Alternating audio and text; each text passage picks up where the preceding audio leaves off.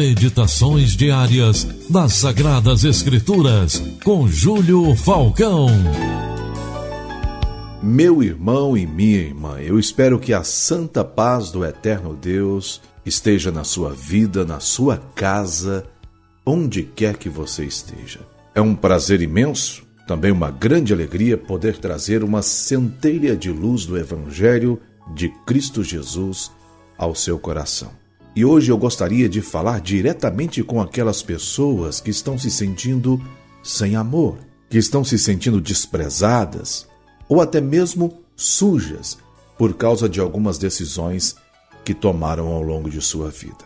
Para isso, nós vamos ao livro de Salmos 136, versículo 26, que diz assim: Deem graças ao Deus dos céus, o seu amor dura para sempre. O infindável, o inesgotável amor de Deus é algo que nunca poderá ser medido por alguém. Porém, o eterno de nossas almas nos deixou aqui na terra os mais diversos amores que por aqui podemos compará-los, dimensioná-los, como por exemplo, o amor conjugal, amor de filho para pai e de pais para filhos, e é nesse último que tem um amor que se assemelha ao de Deus por nós. O amor de um pai e de uma mãe, sobretudo o amor da mãe. Queridos, Deus nos ama não porque lemos a Bíblia ou fizemos cursos teológicos, nos aprofundamos nos livros teológicos ou damos bons testemunhos. Isso agrada o coração de Pai, mas Ele nos ama independente disso. Ele nos ama incondicionalmente. Mesmo os que falham e caminham para finais trágicos, ele os ama. Ele continua amando e não se alegra com o fracasso desses, como nos mostra Ezequiel 34, versículo 11. Disse-lhes: É o Deus vivo dizendo: Vivo eu, diz o Senhor Deus que não tenha o prazer na morte do ímpio, mas que o ímpio se converta do seu caminho e viva. Convertei-vos, convertei-vos vossos maus caminhos, pois por que razão morrereis, ó casa de Israel? Aqui Deus estava falando com o povo de Israel. Note que ele repete duas vezes: convertei-vos, ou seja, mude eu amo vocês. O salmista está dizendo que esse amor de Deus dura para sempre. É como o amor de mãe que, ainda que o filho amagoe com as suas rebeldias e decisões errôneas, ainda assim continua o amando incondicionalmente. Eu vou ilustrar um pouco melhor para você. Havia uma mãe que amava o seu filho acima de tudo. O filho era muito problemático, rebelde, e causava muitos problemas não só a ela, mas também a toda a família. Mas a mãe nunca desistiu dele e sempre o amou incondicionalmente. Um dia, o filho, alcoolizado, se envolveu em um acidente de carro e ficou gravemente ferido. Ele precisou ser hospitalizado e ficou em coma por vários dias. A mãe nunca saiu do lado dele, orando e esperando confiantemente na sua recuperação.